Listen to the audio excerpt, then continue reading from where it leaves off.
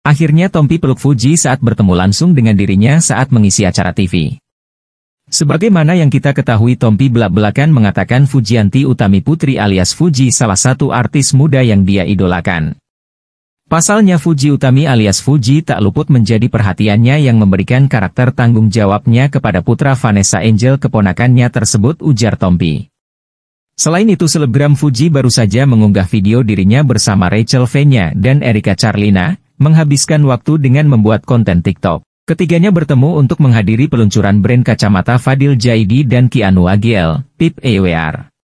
Dalam konten tersebut, Fuji, Rachel Fenya dan Erika Charlina tampak kompak menunjukkan gerakan-gerakan menariknya dengan latar belakang lagu Live We Live, Fiat.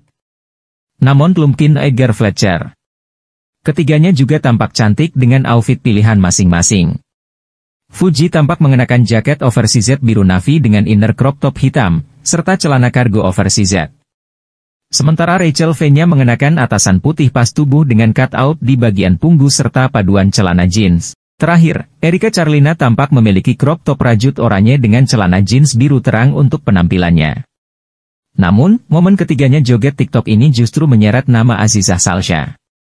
Istri pesepak bola Pratama Arhan tersebut memang baru-baru ini dirumorkan berselingkuh dengan Salim Naudrer, kekasih Rachel V-nya hingga keduanya putus hubungan. Begitu pula dengan hubungannya Fuji.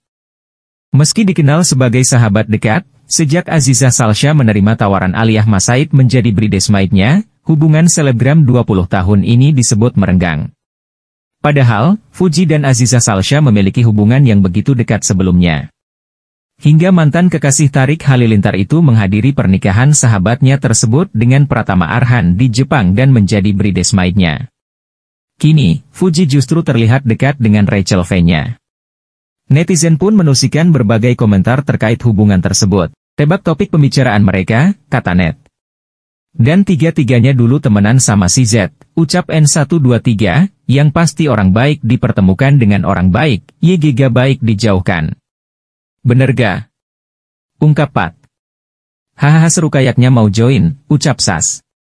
Selain itu dugaan sindiran Atta Halilintar terhadap Fuji Utami dalam unggahan Jangan Ya Dek kini jadi sorotan publik.